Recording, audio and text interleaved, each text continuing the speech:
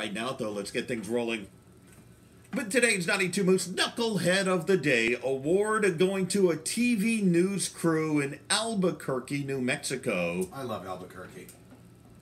This news crew had their van stolen, Okay. their news van stolen, while they were on the scene reporting an increase in crime in Albuquerque. Pol- police tracked it down about a half hour later by using a GPS device inside of the van. The thief had abandoned it, but damaged everything inside of it of course. in the process. I'd have been trying to do live shots as I was I think it. that's the thing. They just started fooling around with all the equipment. Nobody was hurt at the scene, but three people drowned in irony. So-